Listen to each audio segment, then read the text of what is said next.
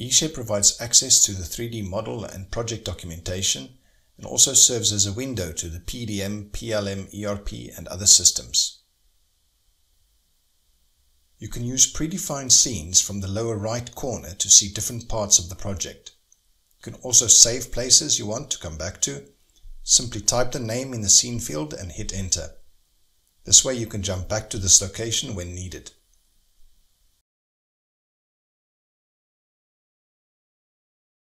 To move around the model, just hold down the left mouse click button and move the mouse. It's very intuitive and easy to get used to. If you want to move up and down, you hold down the shift key and again move the mouse up and down. If you want to rotate around a current position, you hold in the control key and again move the mouse.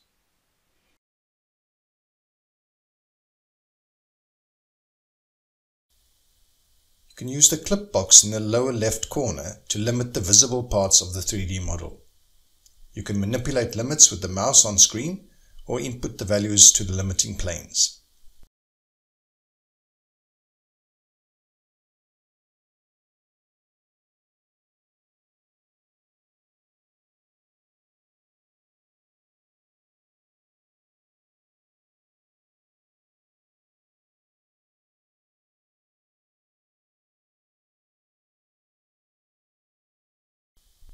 We use the model tree to find and examine objects. The model tree reflects the structure of the model and the model can have several trees. Right-click on any object to open it in Examine mode.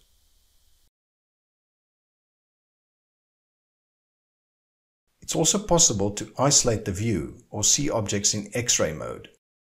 Use the map to navigate around. Simply click to relocate your view.